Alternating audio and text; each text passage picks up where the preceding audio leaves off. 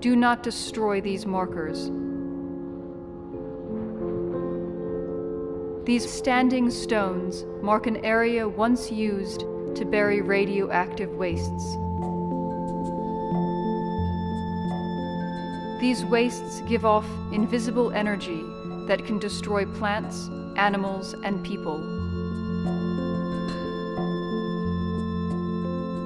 The rock and water in this area may not look, feel, or smell unusual, but may be poisoned.